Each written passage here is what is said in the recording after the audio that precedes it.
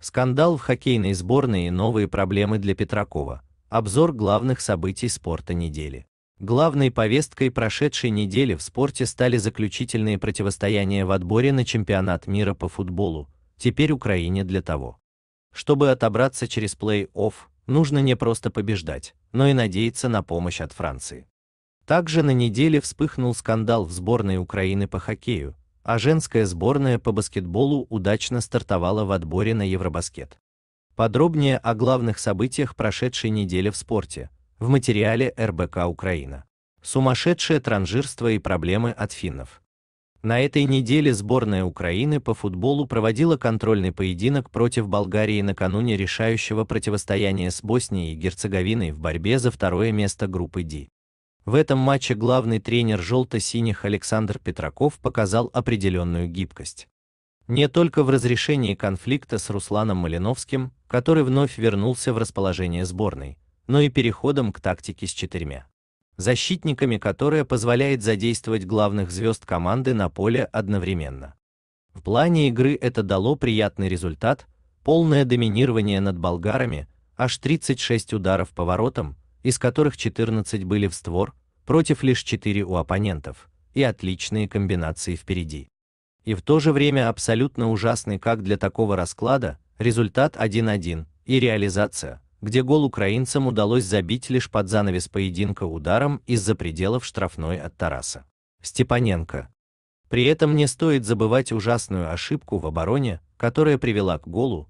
Грубые ошибки допустили Николай Матвиенко и Александр Тымчик, а также не очень уверенно сыграл на выходе Георгий Бущан. В итоге получаем вроде и приятную картину, но не такую, которая бы давала полную уверенность, что задачу минимум победу у Боснии украинцы выполнят.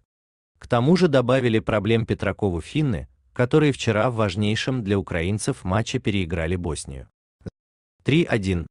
Эта победа позволила Финляндии обойти Украину, и теперь даже ничья с Францией может принести финнам второе место и путевку в плей-офф. Победа над действующими чемпионами мира, которых уже никто с первого места не сдвинет, гарантирует Финляндии второе место.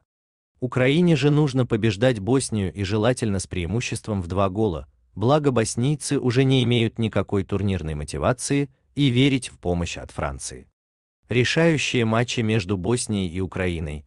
Генерация голоса выполнена с помощью Яндекс Speech Также Финляндии и Франции состоятся 16 ноября в 21 час 45 минут. Первые участники ЧМ 2022. Украинцы сыграют в последний день матчей отбора 16 ноября. А пока уже определились пять участников ЧМ в Катаре от Европы. Германия уверенно завершила отбор лишь раз проиграв, тогда как Дания, Бельгия и Франция досрочно гарантировали себе путевки на ЧМ. Еще одну путевку в очном противостоянии разыгрывали Хорватия и Россия. Россияне имели преимущество перед матчем и их устраивало. Даже ничья, но за 7 минут до конца они забили в собственные ворота, автогол на счету Федора Кудряшова и пропустили на мундиаль хорватов. Сама Россия теперь будет участвовать в плей-офф. В эти минуты также решается судьба путевки в очном противостоянии между Испанией и Швецией. Скандал в хоккее.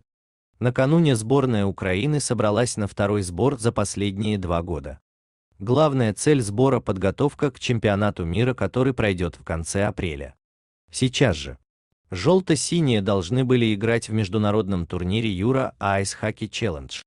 Подобные сборы были в мае, но тогда между федерацией и хоккейным клубом Донбасс вспыхнул скандал. Последние отказались отпускать своих хоккеистов в расположение сборной. В этот раз вроде все утихло, но прямо перед стартовым поединком Евротурнира против Италии Донбасс, президентом которого является Борис Колесников, отозвал всех своих игроков, в расширенном составе было 11 представителей дончан. Единственный игрок, кто отказался покидать сборную, оказался Виталий Лялько, с которым Донбасс сразу же контракт и расторг. Также были отозваны и игроки молодежных сборных. Федерации хоккея Украины такое решение назвали предательством. Угрозы манипуляции и шантаж, всему этому будет дана жесткая оценка, прокомментировал скандал президент ФУ Георгий Зубко. В итоге украинцы в обновленном составе дважды уступили на Евротурнире. По булитам Италии 3-4 и Венгрии 1-2. Уверенный старт баскетболисток. А вот женская сборная Украины по баскетболу очень уверенно стартовала в отборе на Евробаскет 2023. Наши баскетболистки сперва в Киеве уверенно переиграли Францию 90-71, а затем добыли и вторую викторию в Финляндии у местной сборной 71-77. В обоих матчах лучшей на паркете была главная звезда желто-синих Алина Ягупова, которая набрала суммарно 64 очка, 33 против Франции и 31 против Финляндии. Таким образом, украинки после этого окна является единоличным лидером группы B в отборе на Евробаскет.